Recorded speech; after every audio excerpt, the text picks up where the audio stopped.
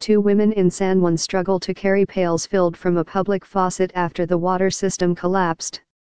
A group of men in Cabo Rojo, a town in southwestern Puerto Rico, stand in line under a scorching sun as they wait for food. The images in the photographs were not taken after Hurricane Maria hit the island in September. They are from the 1940s. The eerily prescient photographs are part of a 276 box archive of the work of Jack Delano, a storied Depression-era documentary photographer. The collection was donated to Columbia University and arrived from Puerto Rico a few months before Hurricane Maria struck. As the university processes the collection, scholars have taken note of the uncanny parallels between the island's poverty of the past and the hurricane-ravaged situation of today.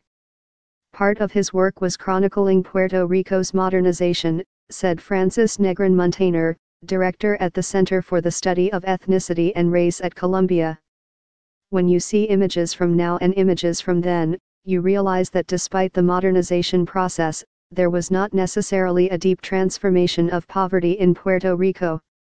Hurricane Maria destroyed thousands of homes and knocked out the island's basic infrastructure residents were left to cook with bonfires and collect water from streams, a deja vu of the rudimentary reality depicted in MR.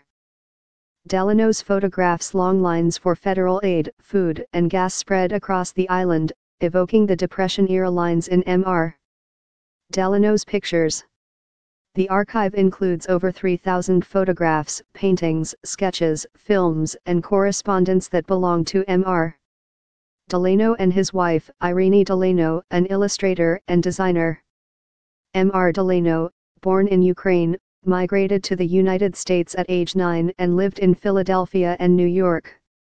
He was hired in 1940 as a photographer for the New Deal's Farm Security Administration, where he joined the ranks of Dorothea Lange and Arthur Rothstein who crisscrossed the United States to shoot what have become the defining images of the Great Depression he was sent to Puerto Rico in 1941. We had been accustomed to the sight of poverty in the States, but never had we witnessed anything like this, Mr. Delano wrote in his seminal photography book Puerto Rico Mio.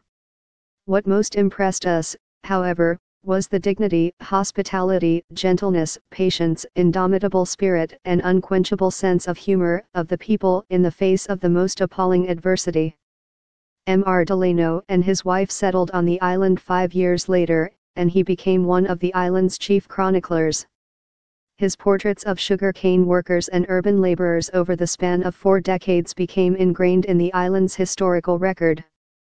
After Hurricane Maria battered the island, the iconic black and white prints raised questions, despite the island's dramatic modernization from the poor agrarian society in M.R. Delano's photographs, was there true progress on the island? Or was it all a veneer? More than two months after the hurricane, the fragile power grid is performing at less than 60% of capacity, bringing the economy to a standstill and forcing thousands to flee. MS